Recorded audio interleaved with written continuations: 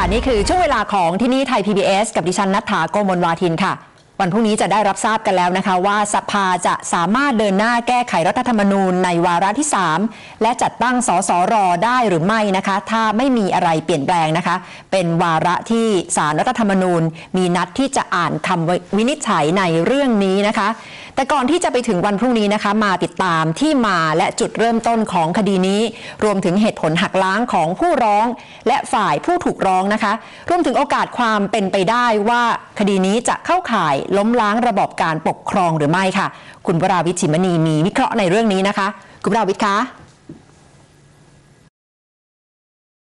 ขอบคุณครับ คุณนัฐาครับ คุณผู้ชมที่จะติดตามการถ่ายทอดสดคำวินิจฉัยของศาลรัฐธรรมนูญทางไทย PBS วันพรุ่งนี้นะครับ ถ้าหากว่ามีรัฐธรรมนูญปี 2550 ติดตัวไว้แบบนี้ หรือว่าจะค้นหาจากในอินเทอร์เน็ต ก็น่าจะช่วยให้เข้าใจที่มาที่ไปของคดีนี้ได้ง่ายขึ้นนะครับ โดยเฉพาะ 2 มาตราที่เกี่ยวข้องโดยตรง ก็คือมาตรา 68 และมาตรา 291 ครับ สาระสำคัญของมาตรา 68 คือการพิทักษ์รัฐธรรมนูญนะครับ โดยระบุว่าบุคคลที่จะใช้สิทธิเสรีภาพในการล้มล้างระบอบการปกครองไม่ได้ ผู้ที่ทราบการกระทำสามารถยื่นเรื่องต่ออายการสูงสุดให้ตรวจสอบ และยื่นให้ศาลรัฐธรรมนูญวินิจฉัย อาจจะสั่งยุบพักการเมือง และตัดสิทธิกรรมการบริหารพักได้นะครับ อีกมาตราที่เกี่ยวข้องคือมาตรา 291 นะครับ ระบุวิธีการที่จะแก้ไขรัฐธรรมนูญ จะมาจากคณะรัฐมนตรีจากสส1ใน 5 หรือว่าจากสสและสว1ใน 5 ของจำนวนสมาชิกที่มีอยู่ รวมถึงประชาชน 50,000 คนก็สามารถเสนอร่างแก้ไขรัฐธรรมนูญได้นะครับ จะสังเกตว่ามาตรา 291 ไม่ได้ระบุวิธีการตั้งสสร ขึ้นมาร่างรัฐธรรมนูญฉบับใหม่ ดังนั้นถ้าจะตั้งสสร ก็ต้องแก้มาตรา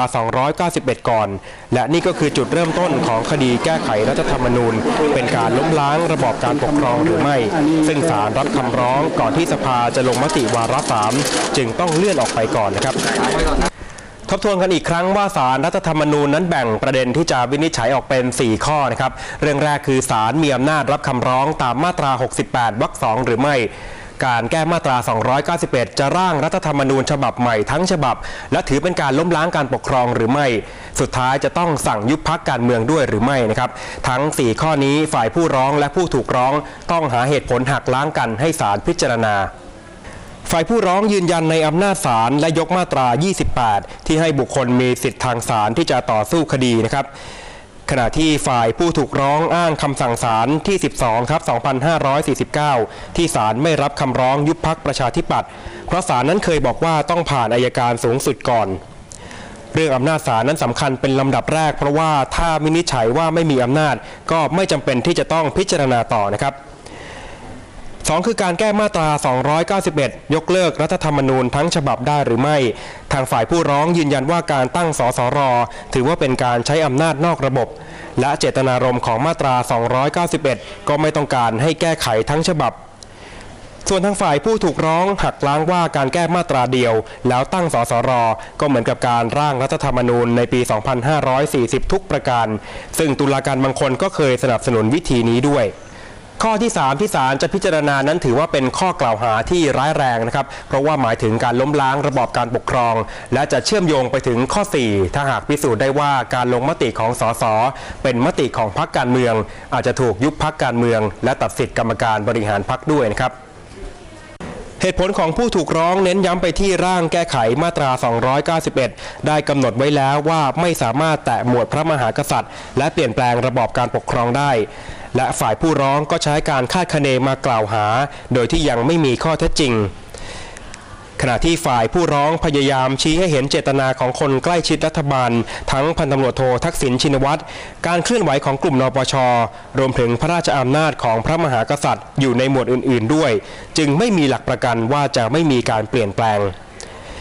จาก 4 ข้อที่ศาลจะพิจารณานั้นหมายความว่าคำวินิจฉัยน่าจะมี 3 แนวทางนะครับ คือยกคำร้องไม่ว่าด้วยเหตุที่ศาลไม่มีอำนาจ หรือว่ายังไม่มีข้อเท็จจริงปรากฏขณะเดียวกันถ้าวินิจฉัยตรงกันข้ามก็คือการแก้มาตรา 291 ถือว่าล้มล้างระบอบการปกครอง ให้หยุดการกระทำไว้ และที่ร้ายแรงที่สุดคือแนวทางที่ 3 ก็คือการสั่งยุบพักด้วย ประธานสารรัฐธรรมนูญนั้นไม่ต้องการให้มีการคาดเดาว่ามติของตุลาการจะออกมา 4 ต่อ 4 เท่ากันนะครับ ถึงแม้ในทางปฏิบัติจะเป็นไปได้ยาก แต่ว่าในทางทฤษฎียังปฏิเสธไม่ได้เมื่อตุลาการเหลือ 8 คน ที่สำคัญประธานสารรัฐธรรมนูญก็ไม่มีอำนาจออกเสียงชี้ขาดได้แต่ว่าถ้าตุลาการมีมติชี้ขาดให้เดินหน้า หรือว่าหยุดการแก้ไขรัฐธรรมนูญด้วยการตั้งสสร คงจะไม่ได้มีผลทางกฎหมายเท่านั้นนะครับ แต่อาจจะทำให้เห็นทิศทางการเมืองไทยนับจากนี้อีกหลายปี และพรุ่งนี้อย่าลืมเปิดรัฐธรรมนูญฟังสารอ่านคำวินิจฉัยไปด้วยนะครับ คุณนัฐาครับ ขอบคุณมากค่ะ คุณวราวิทย์คะดิฉันเตรียมไว้แล้วเรียบร้อยนะคะสำหรับรัฐธรรมนูญวันพรุ่งนี้เตรียมใช้อ่านคู่ไปกับการติดตามคำวินิจฉัยของตุลาการศาลรรัฐธรรมนูญได้ค่ะ